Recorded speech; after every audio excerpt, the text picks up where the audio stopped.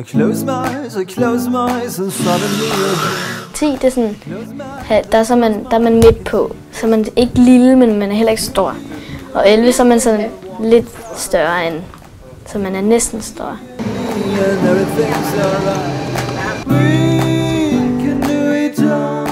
Det er rigtig sjovt at få folk til at grine, synes jeg. Øh, og sjovt at få, når andre får mig til at grine. Nu det Det er noget andet, Jacob. Fodbold, det er bare noget, den største ting, jeg har interesseret mig for i lang tid.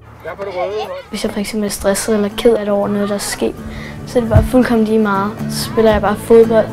Så, og så er jeg sammen med vennerne, og bare den glæde, når andre scorer, og jeg selv scorer, eller vi laver et eller andet fedt, og man får at vide, ej, det var godt lavet, eller, et eller, andet, eller man siger, til andre, man kan se, at de bliver glade for det. Det kan jeg godt lide.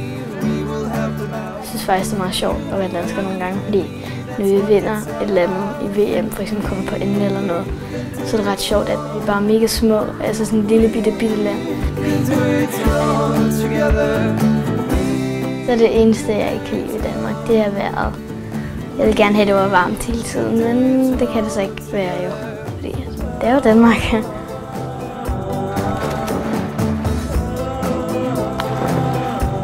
Det er meget koldt.